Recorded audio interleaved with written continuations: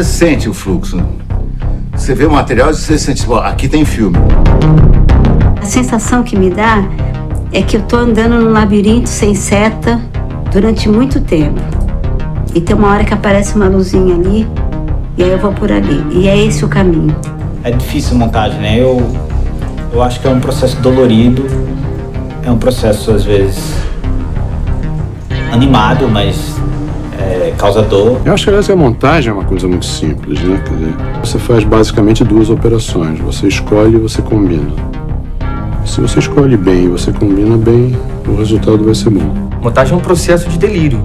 De você começar a se apaixonar por coisas que, assim, você sabe que ninguém mais vai ver. Eu considero que o método é a parte mais importante da montagem, é a nossa base mais sólida. Então, todas as regrinhas de montagem que você teoricamente deveria conhecer, elas não existiam no filme. Tira dois fotogramas, tirava dois fotogramas. Bota dois fotogramas de volta, botava dois fotogramas de volta e perdi os dois fotogramas. E o filme tinha que ter 70 minutos, aí não tem muito material para 70, então vamos botar essa imagem hiper, super slow pra gente.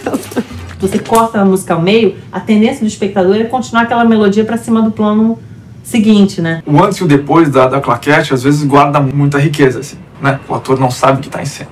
O segredo talvez fosse esse, né?